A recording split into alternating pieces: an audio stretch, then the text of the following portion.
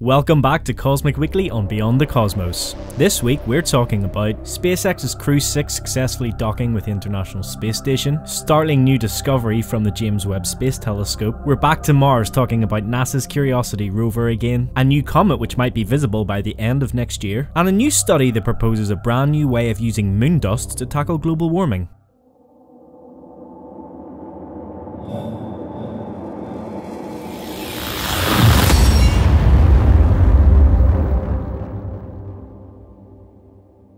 SpaceX's Crew 6 successfully docked with the International Space Station after troubleshooting a faulty sensor that caused a brief delay.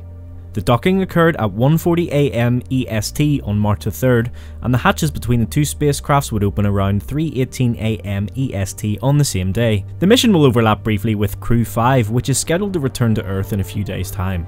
The Crew 6 quartet includes NASA's Woody Hoberg, the United Arab Emirates Sultan Al Neyadi, Russian cosmonaut Andrei Fedyaev, and Commander Stephen Bowen. Their arrival at the ISS was delayed by the faulty sensor which also caused a minor problem shortly after launch. All is well now though. The James Webb Space Telescope, also known as JWST, has discovered an overlooked companion galaxy near a well-known early galaxy called SPT 0418 47. The companion galaxy called SPT0418-SE is full of star formation and was overshadowed by the foreground galaxy, which bent and magnified the light of the distant galaxy creating an Einstein ring. The close proximity of the two galaxies suggests that they are bound to interact or merge with one another eventually, shedding light on how early galaxies evolved into larger ones. The discovery was surprising because SPT0418-SE is believed to have hosted multiple generations of stars despite its young age. The galaxy's mature metallicity is similar to the Sun, which inherited most of its metals from previous generations of stars that were 8 billion years old. The findings, published in the Astrophysical Journal letters, suggest that the process of forming stars in these galaxies must have been very efficient and started very early in the universe, offering new avenues for studying how stars and galaxies formed in the early universe. Did you know Mars has clouds? NASA's Curiosity rover has captured the first ever clear image of crepuscular rays, or sun rays at twilight, illuminating a bank of clouds on Mars. The image was taken as part of the rover's new mission observing clouds over the planet during its twilight hours. The clouds in the image are at a higher altitude than the Martian clouds, suggesting that they may be composed of frozen carbon dioxide, or known on Earth as dry ice. The study of clouds on Mars can provide scientists with valuable information about the planet's weather, atmosphere, and wind patterns. Curiosity's new observation campaign, which began in January 2023 and will run until mid-March, uses both black and white navigation cameras and colour mast cameras to capture detailed images of cloud structures and their colour transitions over time. Be sure to take this time to subscribe to stay up to date with any breaking news coming from Mars.